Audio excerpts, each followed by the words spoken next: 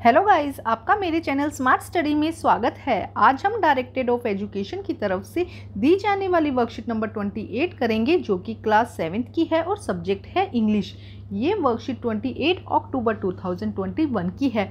तो आइए शुरू करते हैं आज की worksheet topic noun definition a noun is a word that name a person place animal thing और एनी आइडियाज़ देखो क्या कहा जा रहा है कि नाउन किसे कहते हैं? किसी भी पर्सन प्लेस एनिमल थिंग या किसी आइडिया के नेम को हम क्या कहते हैं? मोस्टली देखो नाउन का मीनिंग ही क्या होता है? नेमिंग वर्ड जिससे भी हम किसी चीज़ का नेम बुलाते हैं, चाहे वो पर्सन हो प्लेस हो एनिमल हो या थिंग हो तो उससे हम क्या कहते हैं? नाउन कहते हैं। For example man tree Ram book chair table cat Sunita honesty ये सब क्या है? नेमिंग वर्ड है। ये सुनते ही जैसे कि हमने सुना सुनीता तो हम जानेंगे कि किसी गर्ल का नाम है। हमने सुना रैम हमने सुना बुक तो हम ये किसी ना किसी चीज़ का नाम है। और जो कोई भी नेमिंग वर्ड होता है, नाम का वर्ड होता है, उसे हम क्या कहते हैं? नाउन कहते हैं। अब देखते हैं आगे। Put the following naming words in the correct option okay हमें यहाँ पे दिया गया है ये पर्सन है प्लेस है थिंग्स है और एनिमल्स है। तो यहाँ से हमें नाम चूज़ करना है कि कौन सा क्या है पर्सन है प्लेस है जैसे कि टाइगर टाइगर क्या हो जाएगा? ये एनिमल हो जाएगा। कॉम क्या हो जाएगा? ये थिंग हो जाएगा। डॉक्टर क्या हो जाएगा? पर्सन हो जाएगा। इसी तरह रेड फोर्ट क्या हो जाएगा? प्लेस हो जाएगा। तो ये सारे जो ना, नाम दिए गए हैं नेमिंग वर्ड्स दिए गए हैं ये हमें क्या करना है? अपनी करेक्ट करेक्ट जो भी बॉक्स दिया गया है उसके नीचे लिखने हैं। तो आइए करते हैं इसको सोल्व तो आइए करते हैं पहले देखते हैं पर्सन। पर्सन का जैसे कि राकेश, है ना? फ़र्स्ट जैसे कि ये रहा राकेश, उसके बाद टेलर, उसके बाद नेक्स्ट क्या है? डॉक्टर और बॉय। ये सारे क्या है? पर्सन के नेम है जो हमने यहाँ से छांट कर लिखे हैं। उसके बाद प्लेस का नाम, जैसे कि पार्क, उसके बाद रेड फोर्ट हो गया, बीच हो गया, लंदन हो गया, ये सारे क्या हैं? ये प्लेसेस के नेम हैं। अब देखो थिंग के नेम क्या है? जैसे कि कॉम हो गया सोप हो गई, कंप्यूटर हो गया, बैग हो गया, ये सारे क्या हो जाएँगे? ये हो जाएँगे थिंक के नेम यहाँ पे ऊपर दिए गए जैसे कि लंदन क्या हो जाएगा? यहाँ पे प्लेस का नेम हो जाएगा। बीच क्या हो जाएगा? यहाँ पे प्लेस का नेम हो जाएगा। इसके अलावा सोप यहाँ पे क्या हो जाएगा? थिंक का नेम हो जाएगा। तो ऊपर से सारे नाम छाट कर हमने यहाँ लिख दिए हैं। उसके बाद एनिमल जैसे कि tiger, cat, elephant and monkey. देखो, ये रहा मंकी, ये रहा एलिफेंट, ये रहा टाइगर। तो यहाँ से छाट कर हमने सारे नाम लिख दिए हैं। तो आपको करना किस तरह से नोटबुक में है, आप ऊपर इसी तरह से कॉलम बनाएँगे।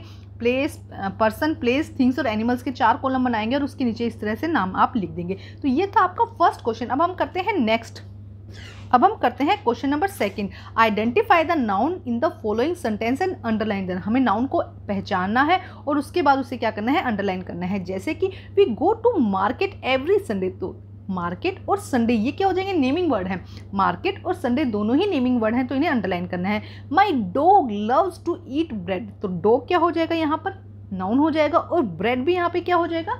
नाउन हो जाएगा, क्योंकि डॉग और ब्रेड से हम कुछ चीज़ समझते हैं, किसी का नाम है ये। नेक्स्ट देखिए plants need water to grow तो plant need water to grow तो ये क्या हो जाएँगे? ये नेमिंग वर्ड्स हो जाएँगे। नेक्स्ट देखिए Satyam is playing in the park तो Satyam is playing in the park park क्या हो जाएगा और सत्यम क्या हो जाएगा यहाँ पे नाउन जितने भी नाउन है ना, उन्हें हमें क्या करना है? अंडरलाइन करना है। My grandmother gave me an apple तो माई ग्रैंड ग्रैंड मदर क्या हो जाएगा? एक नाउन हो जाएगा और एप्पल यहाँ पर क्या हो जाएगा? एक नाउन हो जाएगा। नेक्स्ट देखिए, Anjali is the best singer in our school तो अंजलि क्या हो जाएगा? यहाँ पे नाउन हो जाएगा। सिंगर क्या हो जाएगा? एक नाउन हो जाएगा। और स्कूल यहाँ पर क्या हो जाएगा? एक नाउन हो जाएगा। तीनों ही अलग अलग टाइप के नाउन्स है। Anjali singer and school next देखिए Vidha is known for her honest honesty तो वेधा क्या हो जाएगा? नाउन हो जाएगा और ऑनेस्टी क्या हो जाएगा? ये भी नाउन हो जाएगा। तो आपको इसी तरह से नोटबुक में उतारने हैं और जो भी नाउन वर्डिंग नाउन जो भी वर्ड्स हो, उसको क्या कर देना है? अंडरलाइन कर देना है। अब हम देखते हैं क्वेश्चन नंबर सी देखो क्वेश्चन नंबर सी में क्या कहा गया है? Complete the following sentence by using noun यहाँ पे कुछ नाउन्स दिए गए हैं जिनका यूज़ करके हमें सेंटेंस को कंप्लीट करना है। तो आइए करते हैं इसे सॉल्व जैसे कि देखिए, सबसे पहले क्या आएगा? दिस इज़ माई कैट तो फ़र्स्ट में क्या आ जाएगा? This is my cat her name is Kitty second पे क्या हो जाएगा? Her name is Kitty. She live in she lives in my house वो कहाँ रहती है? मेरे साथ हमारे घर में रहती है। She loves to drink milk उसे क्या है? मिल्क ड्रिंक करना बहुत ज़्यादा अच्छा लगता है। She has a long tail उसके पास क्या है? एक लॉन्ग टेल है। My brother like to play with her मेरा भाई उसके साथ खेलना बहुत पसंद करता है। नेक्स्ट देखिए he jump with her on his bed वो उसके बेड पर क्या करती है? जंप लगाती है। Her presence bring happiness in my life उसकी प्रेजेंस ने क्या किया? मेरी लाइफ में हैप्पीनेस खुशियाँ ही लाई है। देखो यहाँ पे इस तरह से दिया गया है। अब इस तरह से जो फिलिंग द ब्लैंक्स के साथ साथ में आप क्या कर लेंगे, अपनी वर्कशीट को कंप्लीट कर लेंगे। तो ये थी आज की वर्कशीट वर्कशीट को कंप्लीट करके अपने टीचर से चेक करवाइए और प्लीज़ मेरे चैनल को लाइक कीजिए सब्सक्राइब कीजिए और शेयर कीजिए। Thank you guys